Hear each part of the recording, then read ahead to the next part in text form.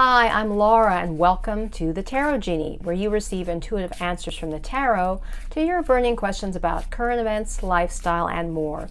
Today, we're going to ask the question for this week, the week's outlook how can you create more harmony in your life, in your business, finances, or your career, in your relationships, and finally, in your overall well being, in your mental and physical well being. Those will be the three aspects that we look at. And the inspiration for today's reading, or this week's reading rather, is Liona Boyd. Now, unless you are a classical guitar or, and also guitar music in general aficionado the way I am, you probably you may not have heard of Liona, Le, Liona Boyd. Tripping over her words, her name. Liona Boyd is a she was one of the first, she's I just looked it up. She's 71 years old, but she's one of the first really renowned female classical guitarists. Of course, there are many male classical guitarists over the years. There was first Andres Segovia, who I heard all about when I was growing up because I studied, played, and my guitar's over there in the corner has not been touched in a few months. I've got to tune it. But I took classical guitar for about eight or nine or ten years, from age eight, no, age nine to age 18, nine years.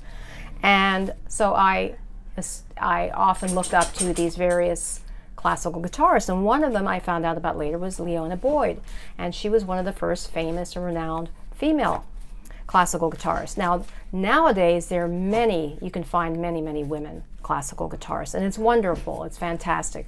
But I think she was the kind of the maverick, the person, the trailblazer for female classical guitarist uh, playing. So I think she is an icon in her field.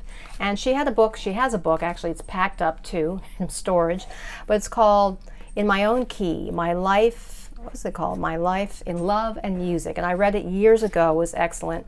And she talked about the sexism and things and the challenges she had to face as a female classical guitarist. She also dated many famous people, like I think, oh, Prime Minister, the late Prime Minister Pierre Trudeau, who's the father of Justin Trudeau. She dated him for a long time. I'm trying to remember, there's some other people. Oh, I think she went out or she was maybe with Julian Bream, who's another classical guitarist. But she shared in her book the challenges and the pitfalls and all that she had to go through to persist and to succeed in a career in her career. And she still playing to my knowledge, although I think she had some physical challenges in recent years. But I will link to a piece of one of my favorite pieces of hers, classical guitar. And I just felt that she would be a good inspiration for this week's reading because her life was all about creating beautiful harmony as a guitarist. So let's ask the tarot quickly, keep this succinct. How can you create more harmony in your business, finances, career? In your relationships, and finally in your mental and spiritual well being. And I'm going to set down the three cards and I will show them to you. All right, for this week, based on the inspiration of Liona Boyd. First card business, career, finances, the Page of Swords. Well, the Page of Swords is a very vibrant, he's got, well, of course, a youthful figure. So we've got that sense of youthful energy, strength, and power. And you see here, and also the pages are related to messages, and they bring messages. The swords, the air, the element of air, also relates to communication and clarity of mind, mental clarity. And so, what I feel that this is popping up and saying right away is that to create more harmony this week in your business, in your workplace, or in your finances is get a very clear, crystal clear idea of what you want to achieve this week and just go for it with all the energy and youthful, you know, vibrant, no matter what your age is, that you can muster and you kind of elevate yourself, get, you know, stand tall and just grab it with all the gusto. Have a particular goal. This the uh, the swords can also relate to a particular goal that you have great mental clarity about. And also just notice that the, the page of swords has red boots, a red tunic, that suggests the idea of passion, that fire energy. So it's all on fire, you know, get on fire with your objective, you know, define a clear goal for this week to create more harmony with the idea though, of course, underlying it of harmony. And this would also suggest to me to be very clear in your communications with ever with whomever you are interacting. And we see the little birds there. That's the idea of messages and information coming to you. And just you want to be very clear, cut to the chase, and direct. But at the same time, diplomatic. You do have to pay attention to that. Sometimes the pages could perhaps veer on being a little bit too zealous. You want to keep that in check a little bit. But the overall idea here and piece of advice is that to create more harmony in your business relationships, um, I'm sorry, in your business jumping the gun here, in your business or workplace or finances is to have a clear, crystal clear objective, hold that powerfully to you, and just move forth with vibrant energy. The next card relates to relationships, how to create more harmony in your relationships. Oh, that's interesting. The two of coins or two of pentacles. And once again, we have an individual. Well, twos relate to well, that is relates to harmony because it's talking about, you know, getting along with others. It's not, even though we have a solitary figure here, the number two conveys the idea of twos, of partnerships.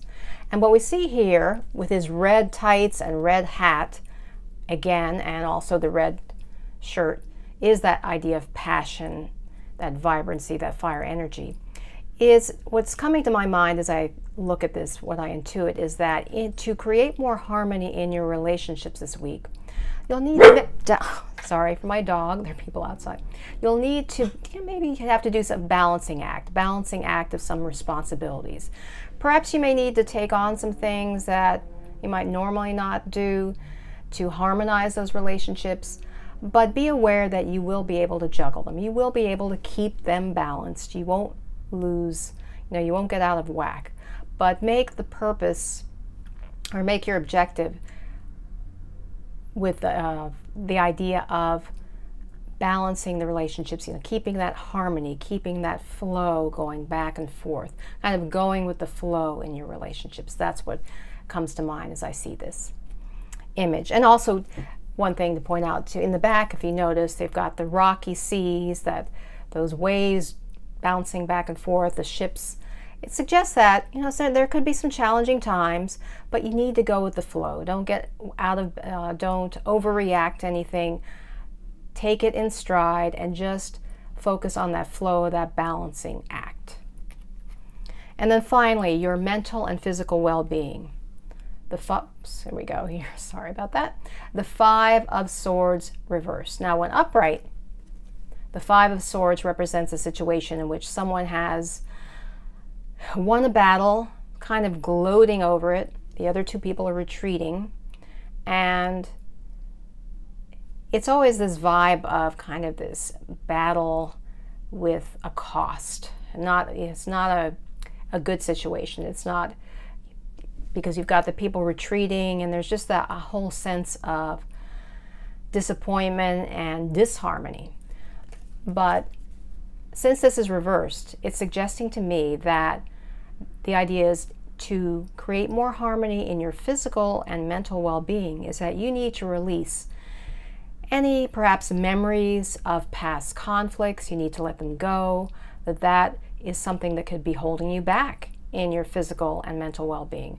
Definitely, you know, when you are focusing and anguishing and ruminating, mulling over in a negative way about past battles, past conflicts, that will take a toll on your physical well being.